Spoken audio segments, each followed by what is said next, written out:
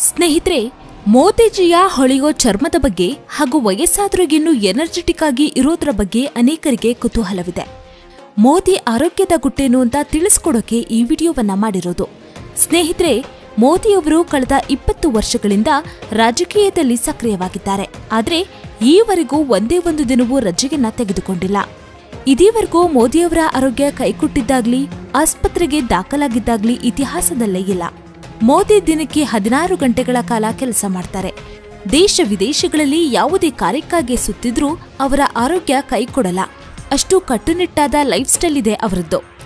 ಮೋದಿ ಚಿಕ್ಕವರಾಗಿದ್ದಾಗಲೇ ಉಪ್ಪು ತಿನ್ನೋದನ್ನ ನಿಲ್ಲಿಸಿದ್ರಂತೆ ಜಾಸ್ತಿ ಖಾರ ಅಥವಾ ಎಣ್ಣೆಯಲ್ಲಿ ಕರೆದ ಐಟಮ್ಸ್ಗಳನ್ನ ಹೆಚ್ಚಿಗೆ ತಿನ್ನಲ್ಲ.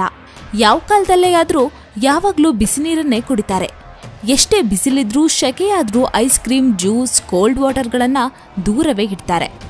ಮೋದಿಜಿ ಹೇಳುವ ಪ್ರಕಾರ ನಮಗೆಲ್ಲ ತಂದೆ ತಾಯಿಯರಿಂದ ಎಲ್ಲವೂ ಬರುತ್ತೆ. ಕಲರ್ ಇರಬಹುದು, ಮುಖದ ಶೇಪ್ ಇರಬಹುದು, ಹೀಗೆ. ಆದರೆ ಫಿಟ್ನೆಸ್ ಅಥವಾ ಆರೋಗ್ಯ ಮಾತ್ರ ನಮ್ಮ ಕೈಯಲ್ಲೇ ಇರುತ್ತೆ. ಅದು ಎಂದಿಗೂ ಬಳುವಳಿಯಾಗಿ ಬರಲ್ಲ ಎಂದಿದ್ದಾರೆ. ಮೋದಿಜಿಗೆ ಕೋಲ್ಡ್ ಆದ್ರೆ ಮಾತ್ರೆಗೆ ಮೊರೆ ಹೋಗಲ್ವಂತೆ. ಬದಲಿಗೆ ಒಂದರಿಂದ ಎರಡು ದಿನ ಉಪವಾಸ ಇರಲು ಟ್ರೈ ಮಾಡ್ತಾರಂತೆ. ಜೊತೆಗೆ ಬಿಸಿ ನೀರನ್ನ ಹೆಚ್ಚಾಗಿ ಕುಡಿತಾರಂತೆ. ಮತ್ತು ರಾತ್ರಿ ವೇಳೆ ಮೂಗಿಗೆ ಒಂದರಿಂದ ಎರಡು ಡ್ರಾಪ್ ಸಾಸಿವೆಗೆ ಎಣ್ಣೆಗೆನ್ನ ಬಿಟ್ಕೋತಾರಂತೆ ಆದರೆ ಈ ರೀತಿ ಮಾಡೋದ್ರಿಂದ ತುಂಬಾ ಉರಿಯಾಗುತ್ತಂತೆ. ಆದರೆ ಬೇಗನೆ ನೆಗಡಿ ಮಾಯವಾಗುತ್ತಂತೆ. ಒಮ್ಮೆ ಮೋದಿ ಅವರು ಸುಮಾರು ಸಾವಿರ ಕಿಲೋಮೀಟರ್ ನಡೆದುಕೊಂಡು ಕೈಲಾಸಕ್ಕೆ ಹೋಗಿದ್ರಂತೆ. ಆಗ ಮೋದಿ ಜೊತೆ ಅನೇಕ ಯಾತ್ರಿಗಳು ಪಾಲ್ಗೊಂಡಿದ್ರು. ಅವರೆಲ್ಲ ಮುಖವನ್ನ ಚಳಿಯಿಂದ ರಕ್ಷಿಸಲು ದುಬಾರಿ ಕ್ರೀಮ್ಗಳನ್ನ ತಂದಿದ್ರಂತೆ. ಆದ್ರೆ ಮೋದಿ ಮಾತ್ರ ಕಚ್ಚಾ ಹರಳೆಣ್ಣೆಯನ್ನ ತೆಗೆದುಕೊಂಡು ಹೋಗಿದ್ರಂತೆ. ವಿಪರೀತ ಚಳಿಗಿದ್ದ ಕಾರಣ ಕ್ರೀಮ್ ಹಚ್ಚಿದವರ ಮುಖವೆಲ್ಲ ಒಡೆದು ಮುಖ ತೊಳೆಯಲು ಸಹ ಕಷ್ಟವಾಗ್ತಿತ್ತಂತೆ. ಆದ್ರೆ ಮೋದಿ ಮುಖ ಮಾತ್ರ ಲಕಲಕ ಹೊಳಿತಿತ್ತಂತೆ ಅದಕ್ಕೆ ಕಾರಣ ಹರಳೆಣ್ಣೆ. ಆಗ ಎಲ್ಲರೂ ಮೋದಿಜಿಗೆ ನೀವು ಮುಖಕ್ಕೆ ಏನ್ ಹಚ್ಕೋತೀರಾ ಅಂತ ಕೇಳ್ತಿದ್ರಂತೆ. ಆಗ ಮೋದಿ ತಮ್ಮ ಸೀಕ್ರೆಟ್ ಹರಳೆಣ್ಣೆಯ ಬಗ್ಗೆ ತಿಳಿಸಿದ್ರಂತೆ. ಆಮೇಲೆ ಎಲ್ಲರೂ ಪ್ರತಿದಿನ ಹರಳೆಣ್ಣೆ ಹಚ್ಚೋಕೆ ಶುರು ಮಾಡಿದ್ರಂತೆ. ಈ ಬಗ್ಗೆ ಮೋದಿಜಿಯವರೇ ಒಂದು ಕಾರ್ಯಕ್ರಮದಲ್ಲಿ ಹೇಳಿಕೊಂಡಿದ್ದಾರೆ.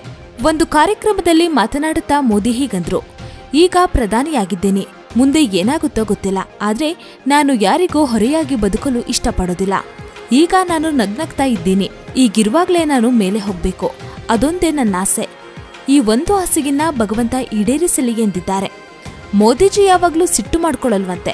ರಾಜಕೀಯ ಅಂದ ಮೇಲೆ ಜಗಳಗಳು, ಟೀಕೆಗಳು ಇದ್ದಿದ್ದೆ. ಆದರೆ ಮೋದಿ ಯಾವುದಕ್ಕೂ ತಲೆನೇ ಕೆಡಿಸ್ಕೊಳ್ಳಲ್ವಂತೆ ಇದು ನನ್ನ ಆರೋಗ್ಯದ ಗುಟ್ಟು ಅಂತಾರೆ. ಮೋದಿಜಿಗೆ ಯಾವ ಕೆಟ್ಟ ಅಭ್ಯಾಸಗಳು ಸಹ ಇಲ್ಲ.